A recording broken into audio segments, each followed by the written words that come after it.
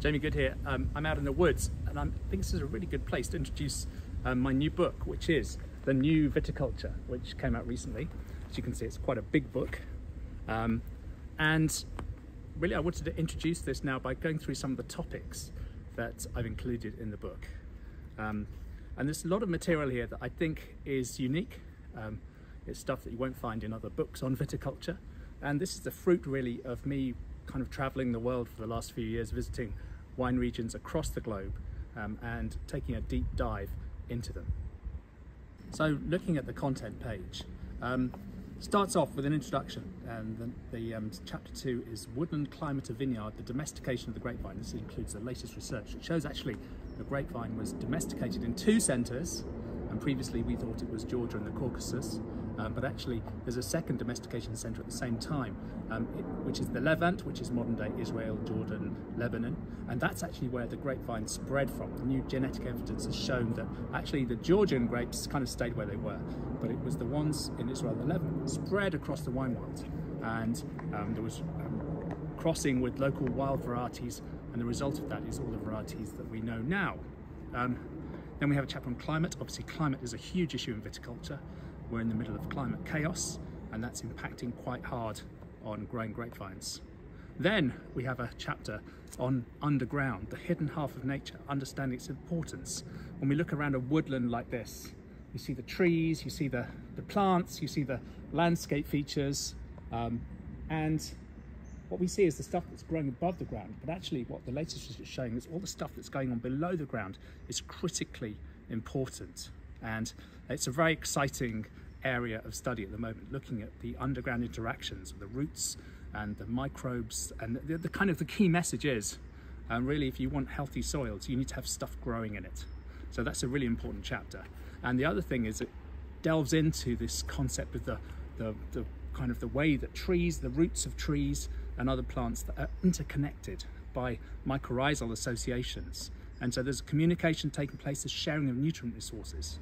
Uh, vine, for instance, will, will deposit up to 40% of its photosynthate, the thing that's the food that it's making from the, the light um, through photosynthesis into the soil to feed that underground life because the mycorrhizal associations are critically important in uh, mobilizing and absorbing nutrients from the soil.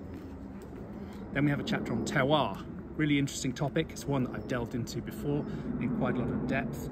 I think it's really interesting and sometimes we get a bit too hooked on terroir, sometimes we make a little bit too much of it. But really the science of, of what's happening in terms of vineyard sites being expressed through wine I think is really fascinating and there's a lot of recent research as well kind of proving the reality of terroir. And then we have a chapter on grafting rootstocks vine longevity. This is a really important chapter um, because most grapevines that are grown around the world are grafted. Um, and that graft union is very important. And since the 1970s, since the invention of the Omega grafting machine, which does basically the grafting in one very automatically, much quicker and cheaper to use than anything else, um, there's a lot of controversy about that Omega graft.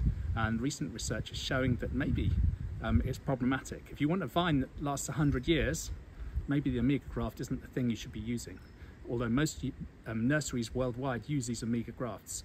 And I went and visited a, a, a guy called Lilian Bérillon, who's a nursery guy in the Rhone, makes um, vines for some of the top properties in France. Um, he's um, not a believer in the Omega graft. So we discussed this at length. It's a really interesting chapter because um, you've got to kind of, you know, sometimes things are fashionable, but you've got to kind of dissect the fashion away from the science. Then we have a chapter on berry development and the ripening process. Obviously, ripening is a critical issue in viticulture. We want the grapes to be ripe, but not too ripe. But what's appropriate ripeness? And, and how is that impacted by viticultural decisions? Then, a chapter on yields and quality and the science of old vines. We talk a lot about old vines. We discuss them a great deal. Um, what's the truth here? Um, why is it that old vines are so prized? What's the science underlying that? And what's the science between yields and quality. Um, a lot of good discussion there. Then we have a chapter on training and pruning, really interesting. Lots of different ways you can grow a grapevine. In the woodland, um, the natural environment of the vine, it kind of grows up. Um, it's a structural parasite. It grows up trees, uses them as support, and then when the, the canopy of the vine is in light, that's where it produces bunches of grapes because the birds can find them. So we've got to think about the way that the vine grows in nature. What does that teach us about the best way of training a vine um, in a vineyard? And obviously it depends very much on your vineyard site, your location, your climate. Really um, interesting stuff there. Um, then um, a chapter on vine immunity, how disease resistance works. Disease is very important, obviously, in vineyards. You want a healthy crop, you want a healthy canopy to ripen that healthy crop. Um, so, what's the nature of the biology behind plant disease resistance? Then we have a really important chapter which is about breeding new varieties, rescuing old ones. Um, obviously, uh, we're kind of stuck with a limited set of grape varieties. You know, um, grape variety diversity. There's more than a thousand, maybe 3,000 different grape varieties that are grown um, in vineyards around the world. Um, which ones are the best? We're using a, a, narrow subset of maybe around 12 widely. And I think the thing is now that we're thinking very carefully about the challenges of sustainability. Um, is it really sustainable to be going through a vineyard 15 times a year spraying plant protection products when actually if you were to breed resistant varieties um, using the genes that are resist, uh, that give resistance to these, these significant diseases from American and Asian species, um, then surely you'd be creating a vineyard that's a lot more sustainable than the current ones we have. Anyway, that's just a little bit. Um, there's much more to say about this. Um, we'll come back to um, the rest of the chapters later.